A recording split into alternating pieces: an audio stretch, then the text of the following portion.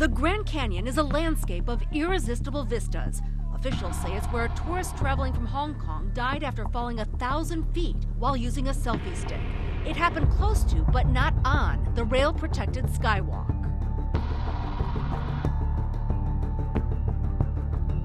In the heart of Arizona, the Grand Canyon astounds everyone who has an opportunity to witness its unparalleled beauty sculpted by nature's artistic hand. Its towering brown cliffs and the vibrant hues of its falls draw visitors from around the globe to glimpse the awe-inspiring phenomenon. However, what scientists just discovered beneath its surface beauty astonishes the world. Join us as we embark on a journey through time and geological wonder. Stay tuned as we reveal the astonishing details that unveil the Grand Canyon's secrets, challenging our perceptions of Earth's history. Number 15. The Curse of the Grand Canyon. What could be the cause of this strange occurrence? The Grand Canyon Park Rangers have reported a fascinating occurrence involving visitors returning stolen items to the park. According to several rangers, people occasionally mail letters or packages containing items they had taken from the canyon, believing them to be cursed. The individuals take these items home as souvenirs, but then experience bad luck. In response, they go to the extent of returning the allegedly jinxed objects by mail. While the idea of cursed items might be subjective, it's important to note that removing any natural objects from the Grand Canyon National Park is against the law irrespective of their perceived supernatural qualities. Number 14. An underground Egyptian city. How can an Egyptian civilization possibly be lost in the crevices of the Grand Canyon? You'd wonder how much of a continental drift could make that possible. The intriguing tale began in 1909 when an explorer named G.E. Kincaid stumbled upon some caverns during an expedition led by Smithsonian anthropologist S.A. Jordan. Despite the inaccessible entrance, Kincaid penetrated the cavern and made a remarkable discovery. The caves were wide enough to house 50,000 people and radiated from a central cavern-like spokes on a wheel. They housed many artifacts, including statues, copper weapons, and granaries stocked with seeds. What added an extra layer of mystery was that the unearthed artifacts didn't align with anything recorded in the known historical record. Instead of bearing Native American origins, as one might anticipate, the objects displayed distinctive Egyptian designs. This raises the question, could there have been an entire civilization of Egyptians in that location? And if so, how did they find their way there? The events that followed were the largest anticlimax in the history of anticlimaxes, as the Smithsonian denied any records of the individuals or the artifacts in North or South America, and several attempts to locate the caverns failed, casting doubt on the story's authenticity. But still, the story had gained lots of traction, and many theories were spun. Some resolved that the story was a hoax perpetrated by the Gazette so they could sell papers. Some proposed that it was a Smithsonian cover-up, as the government wanted to keep the location a secret as they did with other covert areas like Area 51. The mystery persists, fueling various speculations and conspiracy theories. Number 13. The Rocky Serpents, the Grand Canyon Rattlesnake, a subspecies of the widespread western rattlesnake, also known as Crotalus oreganus, camouflages among the diverse rock layers of the Grand Canyon. This venomous pit viper employs its rattles, which can vibrate up to 50 times per second, among the fastest muscle contractions documented in science, to caution potential predators. The vicinity of the Grand Canyon hosts nine rattlesnake species, including two subspecies of the western rattlesnake within the park. Grand Canyon National Park encompasses five species, Grand Canyon and Great Basin subspecies of the western rattlesnake, speckled rattlesnake, black-tailed rattlesnake, and prairie rattlesnake. Additionally, four species, including the Grand Canyon subspecies of the western rattlesnake, have been documented below the canyon rim. Rattlesnakes play crucial roles in ecosystems as both predators and prey.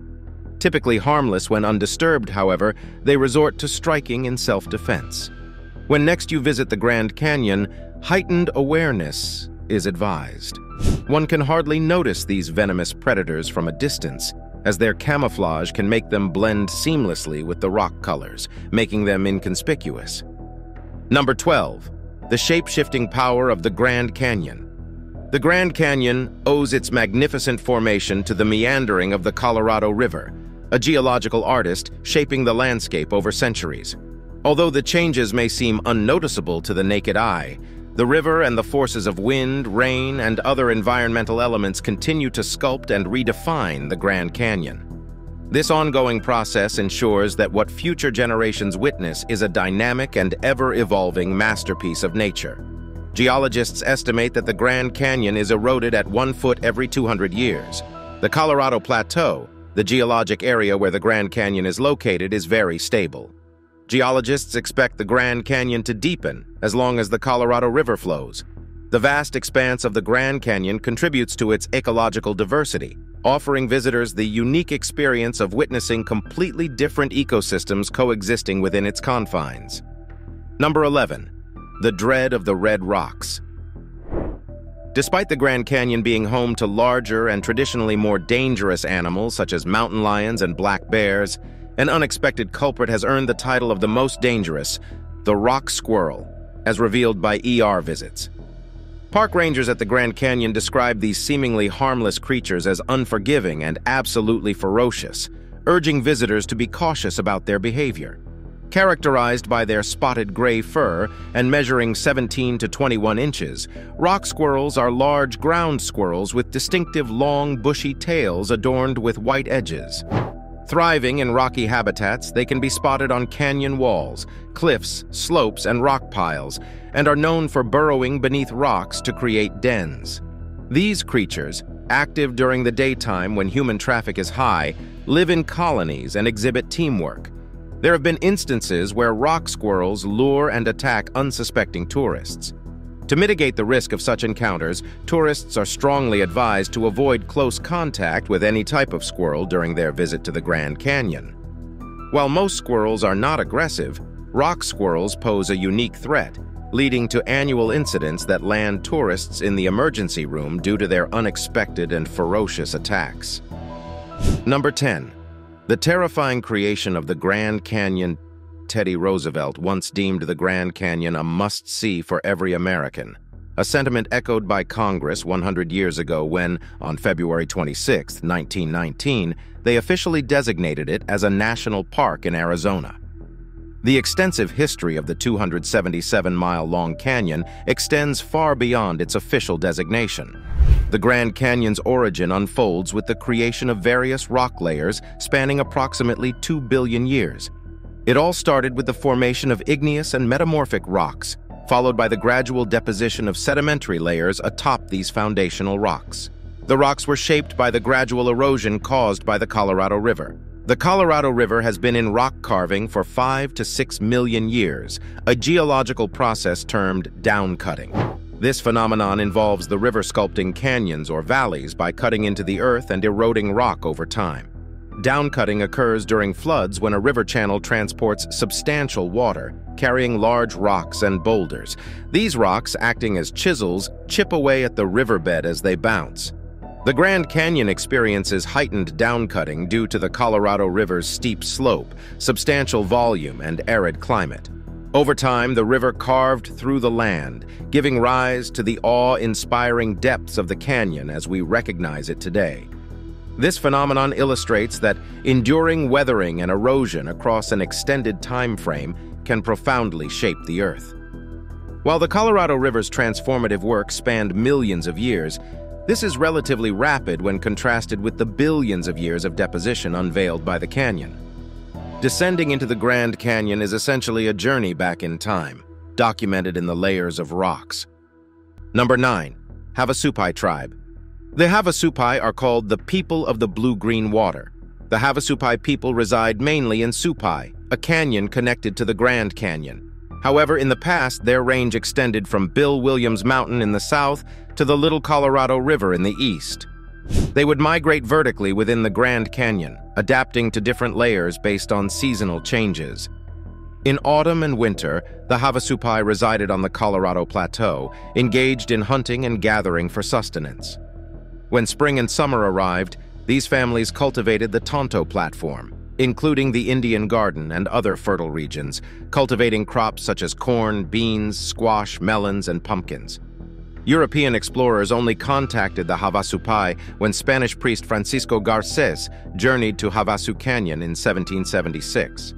Subsequently, Garces ventured east to the Hopi Mesas, where his account revealed the existence of another Havasupai village extending as far east as Moenkopi Wash, surpassing the Grand Canyon. For many years, the Havasupai people were confined to a 518-acre reservation in Havasu Canyon, a fraction of their ancestral lands. In 1975, Congress restored 185,000 acres of canyon and rim territory to the Havasupai tribe. Between establishing the modest Havasupai Reservation in 1882 and its expansion in 1975, the Havasupai adapted their lifestyle, increasingly relying on farming, wage labor, and tourism for sustenance. Their isolated homeland provides a unique journey into the past, where natural rhythms guide daily life, and mules continue to carry the mail. Number 8. Grand Canyon Caves with Sloth Dung Millions of tourists capturing selfies at the edge of the Grand Canyon are oblivious that the reddish limestone cliffs are dotted with caves. These inaccessible crevices have served as ideal habitats for wood rats, bats, birds, and once existent mountain goats and sloths for millennia. Ranging in size, some caves are so constricted that entry requires crawling. In contrast, others offer spacious interiors, allowing one to turn without touching the walls. The extremely arid conditions establish a perfect setting for preservation, enabling researchers to glimpse more than 40,000 years into the past and understand a world that thrived during an era when a substantial portion of North America was veiled under a dense ice sheet. In a recent Grand Canyon expedition, researchers explored Rampart Cave at the far western end. They discovered hundreds of dung balls on the floor, seemingly fresh at first glance, However, these droppings belonged to the extinct 500-pound Shasta ground sloth, dating back over 10,000 years to the 1930s. Decades later, revisiting the cave, the interior resembled a barnyard, accompanied by a more subdued aroma as described by Mead. The site also houses numerous mummified bats, peacefully nestled among ancient gypsum crystals, their final resting place seemingly undisturbed despite the passage of millennia. Number 7. Uranium deposits found in the Grand Canyon. High levels of uranium ore are found in the public lands surrounding Grand Canyon National Park. Uranium deposits are located deep within sandstone, siltstone, and mudstone layers in the southwest. In the Grand Canyon region, these deposits are found within geologic features known as breccia pipes. The commencement of uranium mining near Grand Canyon National Park dates back to the 1950s with Orphan Mine, situated merely two miles from Grand Canyon Village. In the mid-2000s, uranium prices surged, prompting companies in the Grand Canyon area to pursue mining opportunities for its limited high-grade ore. By the decade's end, numerous mining claims dotted the public lands surrounding Grand Canyon National Park. Approximately eight uranium mines, including the currently operational Canyon Mine, which was recently renamed Pinyon Plain Mine, threaten springs within the Grand Canyon vicinity. Uranium mining operations, being financially unpredictable, are frequently deserted for extended periods. During these periods, there is a lack of supervision and ongoing maintenance, leaving drilling sites, tailing piles, and mines exposed to natural elements. This abandonment can result in groundwater contamination, airborne uranium pollution, and dust dispersion, posing safety hazards for recreational visitors on public lands. The Grand Canyon holds spiritual and cultural significance for 11 Native American tribes like the Havasupai. These villages rely on a spring-fed creek for essential activities in their daily lives. Concerned about potential water contamination from Canyon Mine, they've steadfastly opposed uranium mining in the Grand Canyon vicinity since the 1980s, aiming to protect their vital water sources and preserve their cultural practices. Number 6. The case of disappearing and appearing bodies. Recently, National Park Service personnel recovered a body believed to be that of a man who went missing after entering Grand Canyon National Park on July 19, 2021. The retrieval followed a multi-day search and rescue operation. The quest for him commenced on August 9th when his vehicle was discovered parked at the visitor center. Las Vegas police's welfare check call spurred rangers to initiate the search for the Hungarian national, as his family had reported him missing following his stay there. The discovered body, identified as likely belonging to 45-year-old Gabor Berczi Tomcsanyi, was located beneath Yavapai Point in the park, approximately 430 feet below the rim. More surprising than discovering the buried body is stumbling upon an additional corpse previously unknown and never reported missing. While searching for Gabor Berczi Tomcsanyi at Grand Canyon National Park, the search and rescue team uncovered human remains belonging to another individual named Walsh. Baird mentioned that Walsh's attire seamlessly merged with the surroundings, yet he was discovered 600 feet beneath the Pipe Creek overlook while aerially searching for Berczi Tomcsanyi. Baird stated, We weren't actively searching for him, and he wasn't a person prominently on our radar. According to Baird, Walsh wasn't formally reported missing to the park. Still, they presume it's him based on a driver's license discovered in his jacket, matching the name on prescription bottles found in a day pack at the park years ago, as per the New York Daily News. Number 5. Grand Canyon Luxury Suite Typically, describing a hotel room as cavernous isn't the most enthusiastic praise. Hospitality experts often prefer terms like cozy or luxurious. However, when it comes to the Grand Canyon Luxury Suite, calling it cavernous is not just a compliment, but an accurate description. Situated 200 feet beneath the surface within the Grand Canyon Caverns in Peach Springs, these accommodations proudly boast the world's oldest, darkest, deepest, quietest, and largest suite room. In 1927, a woodcutter named Walter Peck stumbled upon dry caverns near the Grand Canyon. Hoping to find gold in the walls of the caverns, he bought the place but found no gold. He eventually turned it into a tourist attraction. Over the years, it changed owners and names, now belonging to a group of friends since 2001. Situated along the historic Route 66, the caverns include RV Park, a restaurant, and a frisbee golf course. Above the cavern, dinosaur statues add a unique touch to the ground. Conceived by the current proprietors, the spellbinding cavern suite materialized in 2010, a four-month creative venture. Descending 22 stories via elevator, guests are welcomed into a colossal cavern stretching 220 by 400 feet, crowned by a soaring 70-foot ceiling. Nestled in a cavern nook, the room defies convention, framed only by a quaint wooden fence evoking the ambiance of a clandestine chamber. A visual marvel indeed. Number 4. The Mogollon Monster When one envisions Bigfoot, the Pacific Northwest typically comes to mind rather than Arizona. So it wasn't surprising when Chris Shaver, a Valley 101 listener who resided in Oregon before moving to Arizona, inquired about the existence of Sasquatch or other mythical creatures in the valley. Surprisingly, Arizona has recorded sightings of a Sasquatch-like creature dating back to 1903 near the Grand Canyon, as reported in the Arizona Republican. For a moment, imagine yourself navigating the desolate roads surrounding the Grand Canyon at night or trekking its meandering trails as the sun sets. The quiet is interrupted by the rustling of leaves, and a faint shadow subtly moves in the distance. Feels unsettling, right? Residents and tourists have claimed sightings of a massive, hairy, and ferocious creature traversing the terrain. Occasionally, it emits a spine-chilling scream, unlike any human sound. This mysterious being, known as the Mogollon Monster, has been described in numerous testimonies. The Mogollon Monster is portrayed as either sizable or human in stature, with eyes that range from green to red and covered in fur of white, gray, or black-brown hues. Its mysterious origins puzzle observers, yet there's a shared belief among visitors, residents, and researchers that something not entirely human may be roaming the ponderosa pines of northern Arizona. Number 3 the Grand Canyon's Skywalk. Why imagine walking on the clouds when you can do that amidst the rocky landscape of the Grand Canyon? The Grand Canyon Skywalk is a spectacular 4,000-foot glass cantilever bridge extending 70 feet beyond the Grand Canyon's west rim.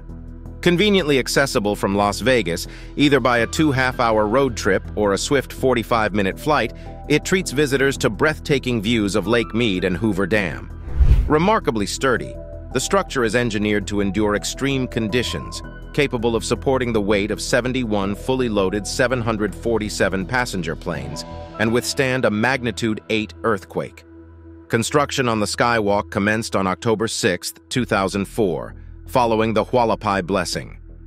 After a month of drilling, the process spanned 18 months.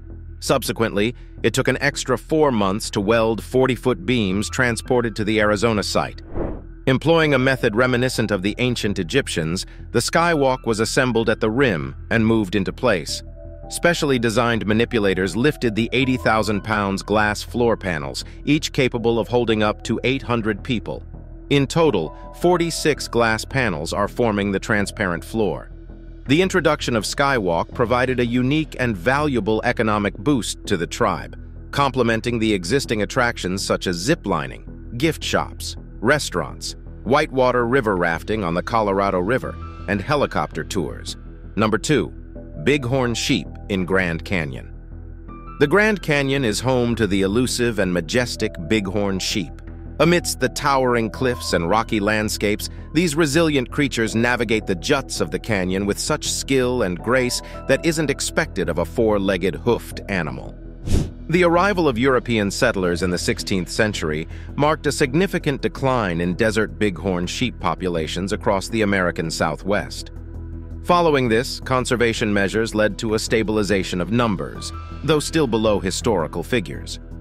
Despite the challenges since 1960, conservation efforts have contributed to an overall increase in the desert bighorn sheep population. Thriving within the depths of a profound canyon, they find sustenance from the plentiful water flowing from the Colorado River. Despite the absence of grazing within the Grand Canyon, the bighorn sheep face threats from within and outside the park.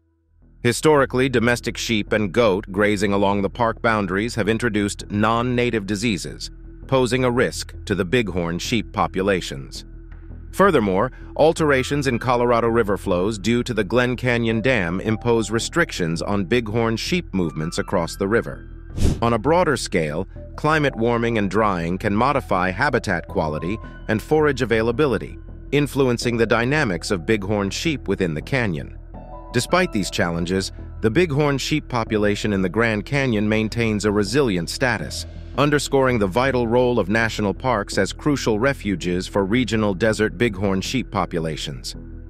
Number 1. Havasu Falls. In a side canyon of the Grand Canyon on the Havasupai Indian Reservation, the Havasupai Falls Ensemble comprises Navajo Falls, 50-foot falls, Havasu Falls, Mooney Falls, and Beaver Falls.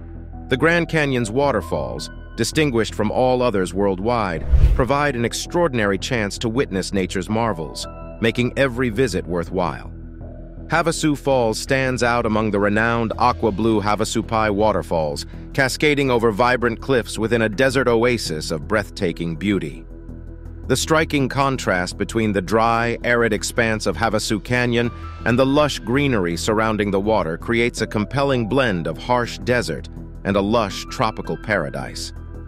Over the past century, Havasu Falls has undergone significant transformations. A hundred years back, the falls looked entirely different from the familiar single spout we see today. A 200 feet, 61m water curtain cascaded down the cliff.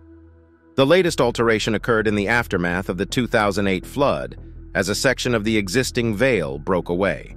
This event led to the current state of water flowing exclusively from one side of the notch. Have you ever pondered the mystical origin of Havasu Falls' enchanting turquoise color? The blue waters are the physical exhibition of the dissolved calcium carbonate and magnesium blend, naturally occurring on Havasu Creek. The Havasupai tribe, custodians of the reservation, share a profound bond with the water and the land.